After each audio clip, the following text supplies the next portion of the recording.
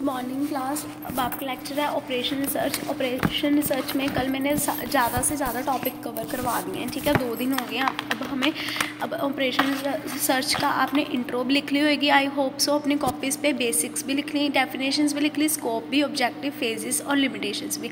अब हमारे first unit में ओनली मॉडल्स रहते थे। फ़र्स्ट यूनिट का फ़र्स्ट यूनिट हमारा कंप्लीट हो जाएगा फ़र्स्ट टॉपिक ठीक है? इंट्रोडक्शन अब आज हम करेंगे मॉडल्स ठीक है?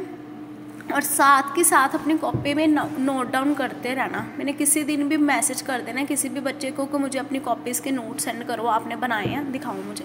ओके अब देखो फ़र्स्ट ओवर क्या था? Operation research is a discipline of exploiting and devoted to avoiding the decision maker the section revalues terminological of O R a process for addressing a practical decision problem and relation between Excel model और O are ये किसके बीच में relation है? Excel model और O R में। O R operation research मैंने simple बताई थी, किसी भी भी चीज़ के ऊपर क्या करना रिसर्च करना मैथोलॉजी करना, किसी भी एक टॉपिक को चूज़ करके उसके ऊपर क्या करना रिसर्च करना टर्मिनोलॉजी करना करना। क्लियर अब ये मैंने बार बार नहीं बताना ओवर क्या होता? आई थिंक आप सबको क्लियर हो गया ओवर सिंपल टर्म में क्या होता। है नेक्स्ट हमारा मेन टॉपिक है आज मॉडल्स मॉडल्स ऑफ़ ओवर कितनी तरह के मॉडल्स है, देखो। फ़र्स्ट है linear programming second one is network flow programming integrate programming non linear programming dynamic programming ठीक है? डायनामिक प्रोग्रामिंग कौन सा होता है जो चेंज हो जाता है ईजिली सोशलॉस्टिक प्रोग्रामिंग कॉम्बिनेटरिंग सोलॉस्टिक्स ये दोनों इकट्ठे ही आ गए डिस्क्रीट प्रोग्रामिंग एंड हमारा था कॉन्टीन्यूस टाइम मैक्रो चेंज ठीक है? ये कॉन्टीन्यूस टाइम चेन है मतलब एक ही टाइम पे चलती रहती है, इसका कोई एंडिंग पीरियड नहीं है।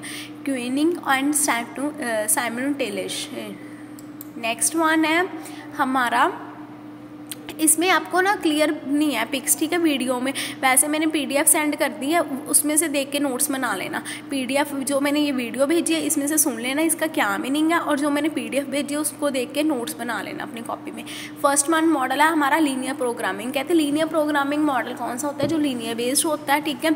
जिसमें क्या होता है? टिपिकली मैथमेटिकल प्रोग्राम कंसिस्ट करे जाते हैं सिंगल ऑब्जेक्टिव फ़ंक्शन पे, ठीक है? एक सिंगल ऑब्जेक्टिव फ़ंक्शन में, और प्रॉफिट हो गया मैक्सिमाइज्ड इसमें प्रॉफिट क्या होता है? मैक्सिमाइज्ड होता है और कॉस्ट हो गया मिनिमाइज और कॉस्ट क्या होती है? मिनिमाइज होती है प्रॉफिट क्या होता है? मैक्सिमाइज होता है. इन द समिकल कंसिडर्ड डिसीज़न वेरिएबल्स होते हैं. सेकेंड है in case a linear programming is a objective function and constrict the all in function is decision variable इसमें डिसीज़न लेना वेरिएबल्स का इजी माना जाता है. एज अ फिगर आपको अभी आगे शो कर दूँगी, आपको पता लग जाएगा कैसे होता है. वैसे आपने लीनियर प्रोग्रामिंग पढ़ा हुआ है क्या? At a first glance, these restrictions would be a seem to a limit the scope. LP model is, is the best the hard case. ठीक है? सबसे अच्छा मॉडल है कहते हैं linear programming model is the best model in the operation research because it is a simplicity एक तो simple होता है ठीक है? जितना डाटा हमने कवर करा उसका बारग्राफ शो कर दो. As a linear programming X variables कितनी है? वाइव कितनी है? ठीक है? वेरिएबल्स तो पता ना कौन कौन से होते हैं। नेक्स्ट है कहते हैं continence is a real world application have a successful model and solve using a linear programming techniques कहते हैं, इसकी सॉल्व करना ईजी है लीनियर प्रोग्रामिंग मेथड से और सक्सेसफुल मॉडल है, ठीक है? कहते हैं लीनियर प्रोग्रामिंग मॉडल है जो सबसे अच्छा और सबसे सक्सेसफुल मॉडल है और it is a simple way है, ठीक है? हाउ टू प्रोग्राम नेक्स्ट देखो, ये देखो फिगर आपको शो कर रही हूँ। इसमें क्या X and Y is equal to X plus four Y is equal to कितना है? सिक्सटीन ठीक है? पहले तो हमने ये देखो राइट साइड में है हमारे वेरिएबल्स ले लिए हैं नीचे कॉन्स्टेंट्स ले लिए हैं, ठीक है? कितनी कितनी रेशोज पे कितने करना अगर मान लो मैंने कहा आपने प्लॉट करना ठीक है? मैंने एक्स दे दिए ज़ीरो वाई दे दिया माइनस वन तो माइनस वन वाला हमने माइनस वन का इंटीजर्स हमने जो इस ग्राफ में शो करना है लेफ़्ट वाली साइड पे एंड पॉजिटिव इंटीजर्स हमारी राइट साइड में आएँगी। जहाँ पे लिखा ना two star X minus Y इस साइड में आएँगी, ठीक है? और वेरिएबल्स हमेशा हमारे कौन से आएँगे? नीचे आएँगे एंड कॉन्स्टेंट्स कहाँ से आएँगे? राइट right साइड्स में आएँगे। अगर किसी को नहीं समझ आएगा तो पूछ लेना। ये तो simple as a graph figure show करी हुई है, ठीक है? अगर आपको लीनियर प्रोग्रामिंग मैथड आता है मॉडल्स आते हैं तो आपने क्या करना है? पहले मॉडल्स के ये लिख के थोड़ा सा एक्सप्लेन करके लीनियर प्रोग्रामिंग का देन ये ग्राफ शो कर देना। कोई भी वेरिएबल्स ले लेना। ज़रूरी नहीं कि ये यहाँ पे X plus four Y is equal to sixteen लिया तो यही लिखने हैं। कोई भी वेरिएबल्स अपनी मर्ज़ी के कुछ भी लिख लेना, ठीक है? फिगर में बट बनानी फिगर ऐसे ही है, ठीक है? जैसे लीनियर प्रोग्रामिंग के बनी है। नेक्स्ट आओ। नेक्स्ट मॉडल कौन सा है? नेटवर्क फ्लो प्रोग्रामिंग ठीक है? यहाँ पे क्लियर नहीं है पीडीएफ में देख लेना, मैं बार बार बोल रही हूँ। The term network flow model flow programming describe a typical model is a special case of a more general linear programming कहते हैं कि अच्छा प्रोग्रामिंग है, ये भी मॉडल है, जो हमारा सेकेंड वन मॉडल है, ये भी बहुत सही मॉडल है। नेटवर्क फ्लो प्रोग्रामिंग मॉडल जो है, सबसे बेस्ट मॉडल है किसमें? ओ में। कहते हैं class network flow programming include a such a problem in transformation of a problem इसमें क्या इजीली हम प्रॉब्लम को क्या कर सकते हैं? ट्रांसफ़र कर सकते हैं सॉल्व कर सकते हैं असाइनमेंट भी बना सकते हैं। एंड मेन इसका फ़ंक्शन है shortest part of a problem है, ठीक है? इजीली मतलब सॉल्व हो जाता है एंड मैक्सिमम इसमें फ्लो होता है और मिनिमम इसमें क्या होएगा कॉस्ट होगी, ठीक है? मैक्सिमम उसमें क्या था? मैक्सिमम प्रॉफिट था मिनिमम कॉस्ट नहीं, इसमें कॉस्ट भी मिनिमम होगी प्रॉफिट भी मिनिमम होगा। नेक्स्ट थर्ड पॉइंट क्या कहता है? It is a important class because many aspect actual situation ready to recognise the networks ठीक है? इसमें रिकोगनाइज करते हैं हम नेटवर्क्स को as a general linear program जैसे जर्नल में करते थे, वैसे इसमें करते हैं लीनियर प्रोग्रामिंग में। Next fourth one is, is uh, when a situations can be entirely modeled as a network where efficiency is uh, exist the solution and optimisation of a problem optimisation problem कौन सी होती है? जो ऑप्टिम जल्दी जल्दी जिसको हम सॉल्व कर लें वो प्रॉब्लम को ठीक है? इसमें एफिशिएंसी तो बहुत लगती है कहते हैं हार्ड वर्क तो बहुत है इस प्रोग्रामिंग में ठीक है? But utilisation of time and space resource भी है ठीक है? इसमें यूटिलाइज होता है हमारा टाइम और स्पेस भी। क्लियर नेक्स्ट इसकी फिगर देखो अब। इसमें क्या था? उन्होंने बताया हुआ है कि एक्सटर्नल फ्लो और इंटरनल फ्लो दोनों फ्लोज ले लेने हैं। ये जस्ट सिंपल आपने कुछ भी नहीं करना। यहाँ पे मतलब शो कर देना। One two three four five six तक एट तक फिगर्स ले लो, ठीक है? कोई भी प्रोग्रामिंग को किसी के साथ भी कनेक्ट कर देना है। मतलब one program connected to the fourth fourth program connected to the seventh and seventh का फ्लो किसमें जा रहा है? थर्ड में। मीन द आपस में कनेक्शंस बना देने हैं, ठीक है? और लोअर ज़ीरो है तो अपर कितनी आई है? टू हंड्रेड देखो ऊपर। Two hundred two hundred upper flows आए हैं सबके, ठीक है? एंड माइनस वैल्यू लोअर की आई है ज़ीरो ठीक है? एक्सटर्नल कोस्ट में।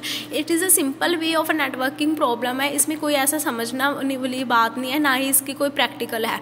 जस्ट एज अ फिगर ही बनाई है, जैसे उन्होंने फिगर बनाई है, वैसे ही बना लेना माइंड में रख लेना। बट जो नंबर्स हैं, वो आप चेंज कर सकते हो, ऊपर नीचे कर सकते हो। इसका कोई ये नहीं है कि आप बोलो कि मैम, ये समझ नहीं आ रही फिगर जस्ट फिगर जो बनाई है, वो आप मैंने माइंड में लर्न कर लो। देन कोई भी वेरिएबल्स ले लो कोई भी एक्स वाई कुछ भी लेके उसको आपस में प्लॉट कर दो। क्लियर नेक्स्ट है हमारा नेक्स्ट देखो नेक्स्ट कौन सा इंटीग्रेट प्रोग्रामिंग इसमें क्या था कि प्रोग्रामिंग कहते हैं, ये भी ऑप्टिमाइजेशन प्रॉब्लम है। इसमें भी वेरिएबल्स देखने जाते हैं डिस्क्रीट वैल्यूज़ देखते हैं देखते हैं। रहते than allow the variable is यूम the real value इसमें हम रियल वैल्यू शो करते हैं। इसमें फेक डाटा हम नहीं शो कर सकते, ठीक है? इसमें जो हमने रियल हमारी वैल्यू आई है ना, जितनी भी कहते हैं आंसर आया एग्जैक्ट आंसर वो हमने शो करना है इसमें, इस मॉडल में। क्लियर नेक्स्ट देखो। नेक्स्ट इसमें डाटा, देखो फिगर देखो। अब बार ग्राफ हम शो करते हैं प्लॉट करते हैं। कहते हैं ना कि इस डाटा का इतना है 2009 से 2010 का ये प्लॉट हो रहा है। तो ऐसे ही इसमें क्या वन टू थ्री नंबर्स डाल लेने हैं, नीचे भी वन टू थ्री डाल लेने हैं। अगर वन में कहाँ प्लॉट हो रहा थर्ड में, ठीक है? कितनी वैल्यू में two X plus three Y greater than twelve and second में क्या था? एक्स प्लस वाई माइनस में था। वो red line dead line show कर रहा। है क्लियर ठीक है? इसमें कुछ भी नहीं है सिंपली आपने मतलब वेरिएबल नंबर्स लिख लेने हैं one two three right side पे भी, नीचे भी लिख लेने हैं वन टू थ्री फोर जितने भी आपने लिखने हैं थ्री फोर तक। और उसको प्लॉट कर देना है किसके साथ? पहले वन को करना टू के साथ। कितनी वेरिएबल्स में? Minus X plus Y equal to greater than one में। सेकेंड लास्ट में क्या करना वन का वेरिएबल कितना प्लॉट करा, उन्होंने थर्ड पे करा, कितना?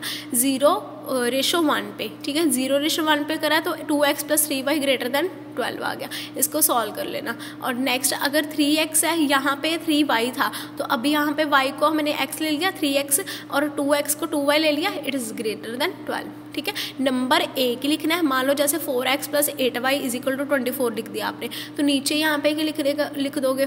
फोर एक्स था ना तो फोर वाई आ जाएगा। वहाँ पे एट एट वाई की जगह एट एक्स आ जाएगा is equal to greater than twenty eight ही आ जाएगा. क्लियर समझ आ रही है?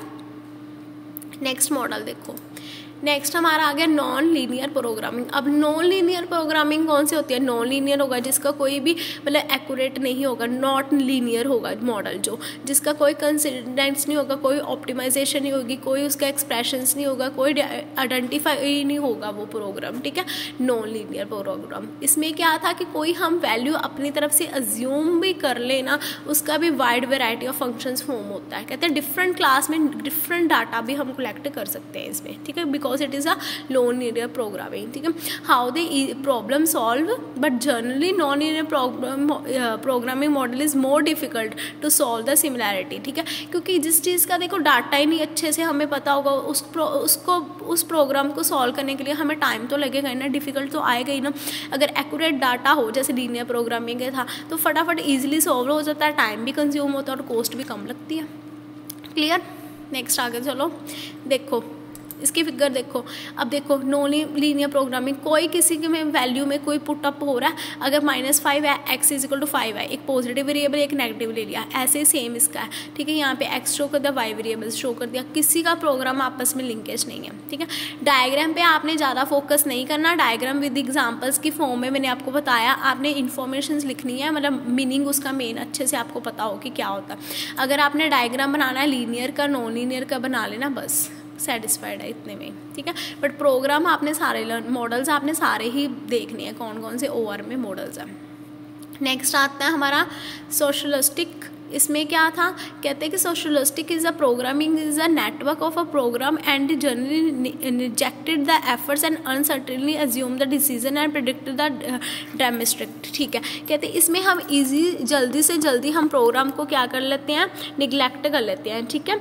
निगलेक्ट कैसे कर लेते हैं? अगर प्रोग्राम हमें समझ ही नहीं आ रहा तो हम उसको कह देते हैं ना, छोड़ दो कि फॉर एग्ज़ाम्पल मान लो, अगर आपको कोई बात ही नहीं समझ आ रही, कोई टॉपिक नहीं समझ आ रहा, आप वो पेपर में करके जाते हो, आप कहते हो ना, ये नहीं आता, ये छोड़ दे। देते हैं ऐसे ही है इसका भी प्रोग्रामिंग ठीक है, इसमें क्या है abstraction of a real allows the general complexion decision program to model and using the power ठीक है, इसमें हमें डिसीज़न भी कॉम्प्लेक्स वे से लेने पड़ते हैं। नेक्स्ट हमारा आता है सोशलिस्टिक दोबारा आ गया था? चलो। नेक्स्ट हमारा आता है डायनामिक प्रोग्रामिंग डायनामिक प्रोग्रामिंग में क्या था?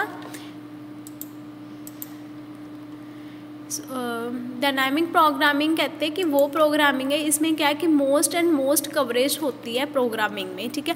इजी टू सॉल्व है और मतलब टाइम भी कम लगता है और प्रोग्राम जल्दी सॉल्व भी हो जाता है। इसमें हम क्या देखते हैं कि रैदर ऑब्जेक्ट फ़ंक्शन देते हैं कि कंस्ट्रिक्ट कर रहा है वो प्रोग्राम ओआर में मतलब रिसर्च में कि नहीं कर रहा, ठीक है? मेन उसका फोकस यही होना चाहिए कि ईजिली हमने ये प्रोग्राम को क्या करना सॉल्व करना विद अ मैथमेटिकल वे से क्लियर और इसमें सीक्वेंसिंग मैक्सिमाइजेशन होती है। मीन्स मैक्सिमम कॉस्ट लगती है इस प्रोग्राम में। क्लियर नेक्स्ट ये रिपीट हो गया। आगे चलो। आगे आ गया डिस्क्रीट टाइम इसमें क्या था? डिस्क्रीट टाइम में जस्ट वेट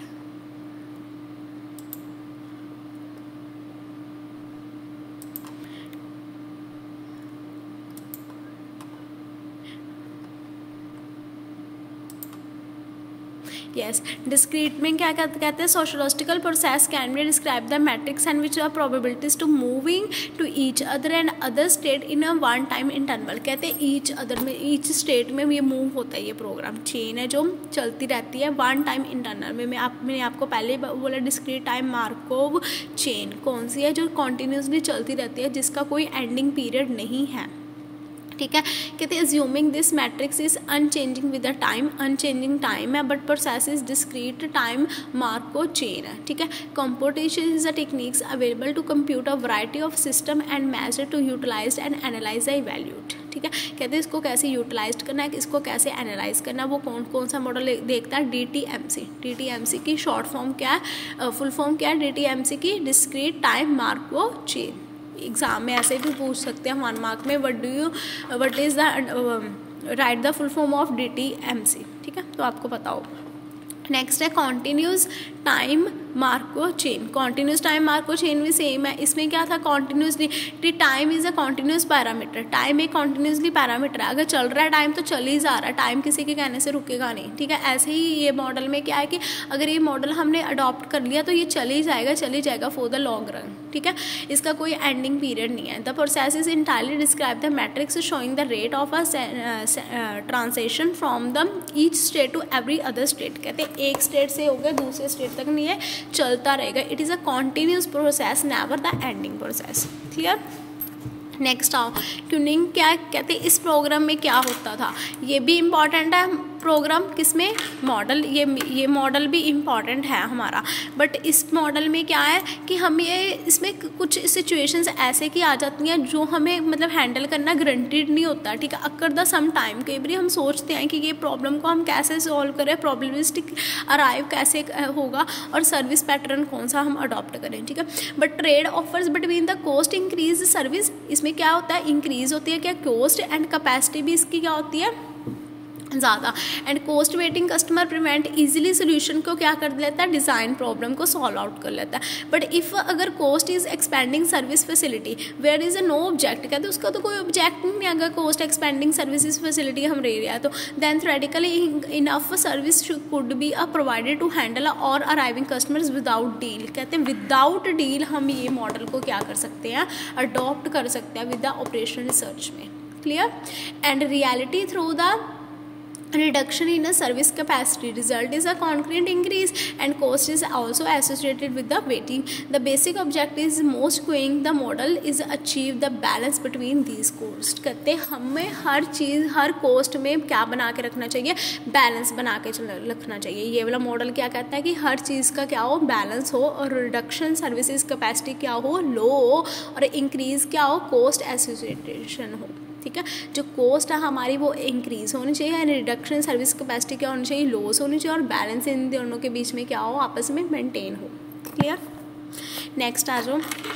साइमल्टेनियसली इसमें क्या था? सिमिनेशन में कि कहते कि इस प्रोग्रामिंग को भी अडॉप्ट मॉडल को भी अडॉप्ट करना ईजी है बट रैंडम वेरिएबल्स हमें चूज़ करने में डिफ़िकल्टी आती है, ठीक है? When a situation is affected by the random variables it is often the difficult to obtain the close from equations it can be use the evaluation ठीक है? हमें कैसे इवेल्युएट करना है उस प्रो को?